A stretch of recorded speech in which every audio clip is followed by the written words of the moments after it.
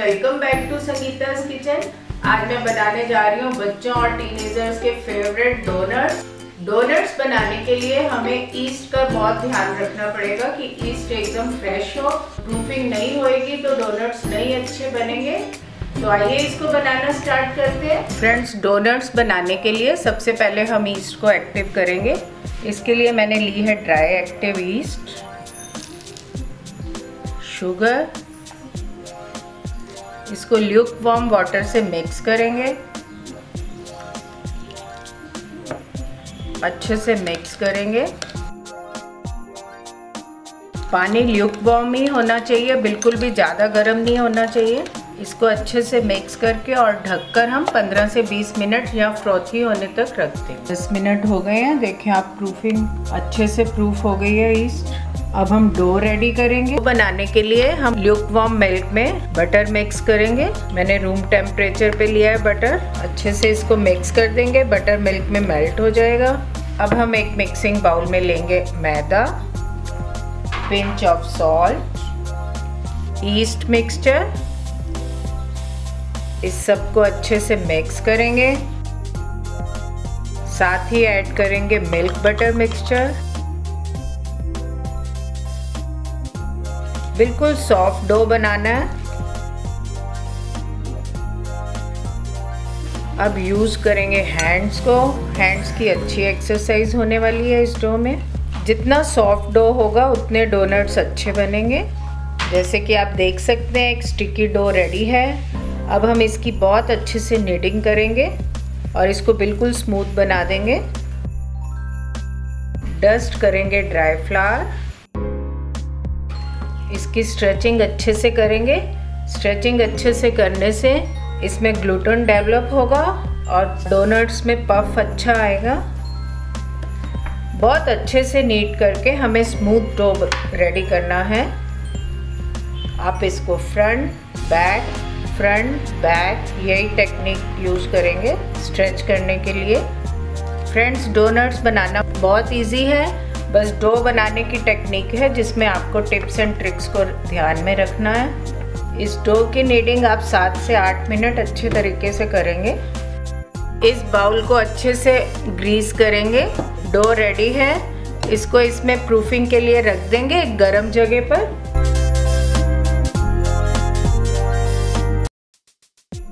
एक घंटा हो गया है, मेरा डो एकदम डबल हो गया, आप देख सकते हैं। अब हम इसको निकाल कर पंच करेंगे। दो मिनट के लिए इसको नीट करेंगे।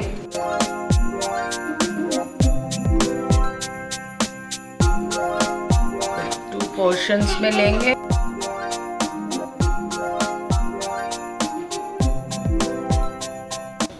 इसको रोल करेंगे।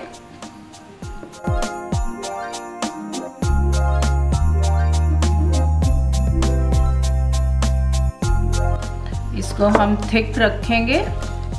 कम से कम हाफ़ इंच की थिकनेस में रखेंगे। जितने बड़े साइज़ का आपको डोनट बनाना है उतना बड़ा साइज़ आप ले सकते हैं ग्लास का। इसको फ्लावर में डस्ट करेंगे तो कट करेंगे।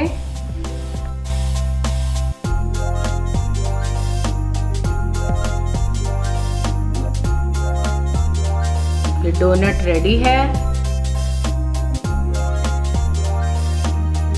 इनको हम एक ग्रीस ट्रे में रख देंगे।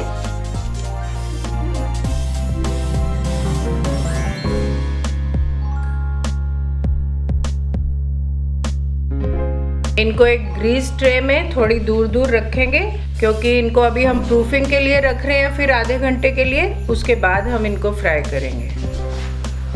इनको कवर करके फिर से गर्म जगह पर रखेंगे प्रूफिंग के लिए। जब तक डोनट्स में प्रूफिंग हो रही है, हम चॉकलेट सॉस रेडी कर लेते हैं टॉपिंग के लिए। फ्रेश क्रीम ली है मैंने, उसको गरम करेंगे। इसको हम लो फ्लेम पर गरम करेंगे।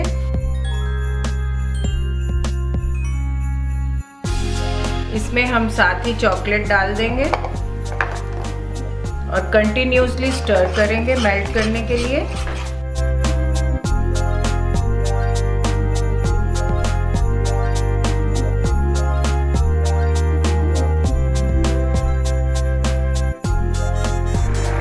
सॉस बनाते हुए आप बिल्कुल लो फ्लेम पर बनाएँगे इसको और कंटिन्यूसली स्टर करेंगे, रुकना बिल्कुल नहीं है।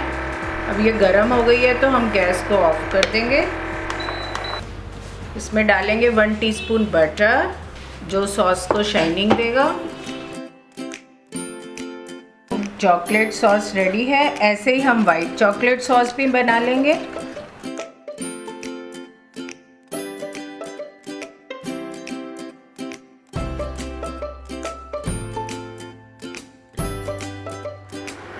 वाइट सॉस भी रेडी हो गई है। अब हम डोनट्स को फ्राई करेंगे। एक घंटा हो गया है। देखें, आप डोनट्स की प्रूफिंग हो गई है। ये फूल गए हैं। अब इनको फ्राई करेंगे। ऑयल गरम हो गया है। अब हम इसको फ्राई करेंगे। लो फ्लेम पर ही फ्राई करेंगे। देखें, आप आसपास बबल्स आ रहे हैं। इसका मतलब ऑयल गरम है।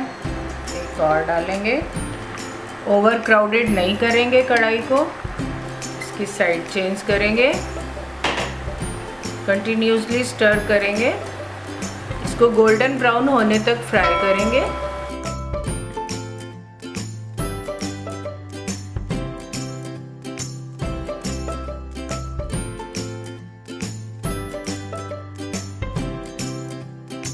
ब्राउन हो गए हैं, इसको निकाल लेंगे। ऐसे ही हम और भी फ्राई करेंगे। फ्रेंड्स ये मैं इनर रिंग्स भी फ्राई कर रही हूँ। ये भी बच्चों को बहुत अच्छे लगेंगे छोटे छोटे अब हम सबसे पहले डोनट को चॉकलेट सॉस में डिप करेंगे। एक साइड पर ही डिप करेंगे। हम व्हाइट सॉस में भी डिप करेंगे।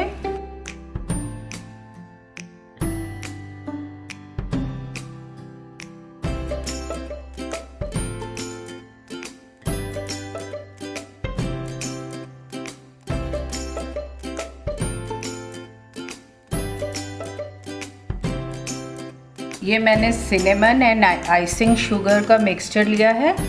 इसमें एक डोनट में हम खाली शुगर स्प्रिंकल करेंगे शुगर एंड सिनेमन